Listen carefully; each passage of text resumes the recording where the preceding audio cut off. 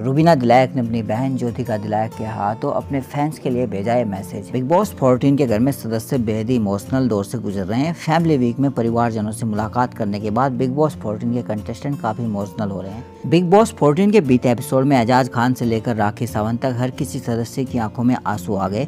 परिवार वालों से मिलने का यह दौर आज भी इसी तरह चलने वाला है। आज बिग बॉस 14 के घर में जैस्मिन, बसीन, विकास गुप्ता, रुबीना दिलायक के परिवार के लोग आने वाले हैं। वहीं बिग बॉस 14 के घर में रुबीना दिलायक से मिलने उनकी बहन ज्योतिका दिलायक आई रुबीना दिलायक से मिलकर ज्योतिका दिलायक उनकी काफ़ी तारीफ़ करती है। रुबीना दिलायक से वो कहती है कि आप बहुत ही अच्छा खेल रहे हैं, आपको किसी के साथ ग्रुप बनाने की ज़रूरत नहीं है। मम्मी ने कहा है की जैसी शेरनी होती, वैसे Rubina Dilaik Bigg Boss fourteen के घर में दाड़ लगाती है। ये बात सुनकर रुबीना दिलायक फूट फूट कर रोने लगती है। वहीं बिग बॉस फोर्टीन के घर से रुबीना दिलायक से मिलने के बाद ज्योतिका दिलायक ने ट्वीट और उन्होंने बताया कि रुबीना दिलायक अपने फैंस के बारे में क्या सोचती है। मैंने कहा कि आप शेरनी की तरह अच्छा खेल खेल रही हो।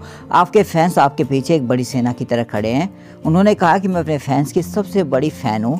वे हमेशा मेरे लिए किसी भी सिचुएशन में खड़े रहते हैं। अब तो मैं भी रूबी दी के फैंस की फ़ैन हो गई हूँ। एक तरह से रूबीना दिलायक ने अपने फैंस के लिए ज्योतिका दिलायक के हाथ एक मैसेज भेजा है कि वो अपने फैंस की भी फ़ैन है। खबर अच्छी लगे तो लाइक करें और सब्सक्राइब करना ना भूले। Thank you